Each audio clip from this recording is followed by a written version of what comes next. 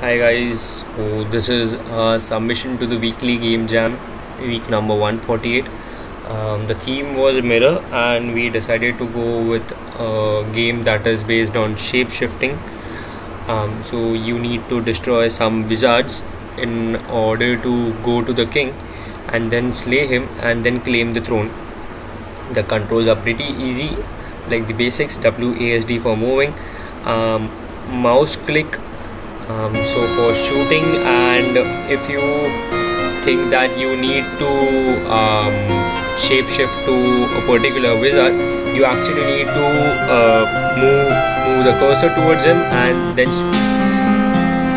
press space in order to shapeshift. And shift is to use the um, special ability that each and every wizard possesses.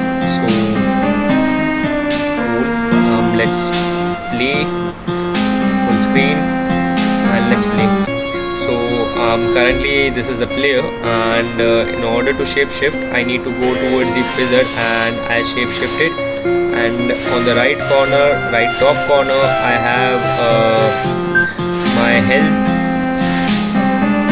and my current health. And the blue wizard has a healing ability that uh, heals up to 3 um, so I pressed shift and now I have healed um, my health.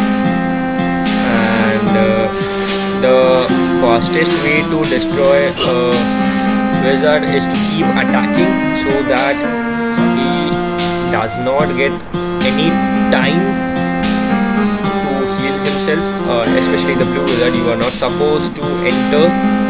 And uh, I can basically shift, shift to any uh, wizard I like. Um, let's go here. The game is pretty easy.